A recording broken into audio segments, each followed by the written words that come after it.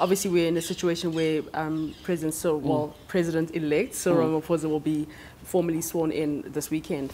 Um, so you obviously having served in cabinet, what advice would you give him? You know, just with regards to just with this new dawn that he. Well, all I can say with. is that there's really good and strong women in the team yeah. uh, that would do a really yeah. uh, good job.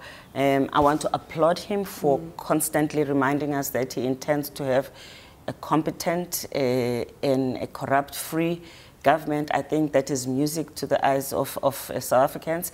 Uh, so a corrupt-free, competent, gender-inclusive mm. cabinet would be a chair on top yes. for, for, for all citizens. And if when I became deputy president, I hadn't been in public office as long as some of the women he can choose from mm. have been already. So I think that also has to be consoling that mm. you do have a lot of veterans and people who really now have had a long time to serve. So with regards to the women's ministry in South Africa, it does seem as though it's redundant. Every time it seems that things are going to get better, feel, a lot of women may feel betrayed by the women's ministry in general.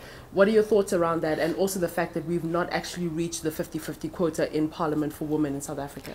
Well, I think that uh, it would be unfair to expect the, that ministry to be the one that solves all these things mm -hmm. because as I think we said earlier on, this is the responsibility for everybody. Mm -hmm. It is not given money.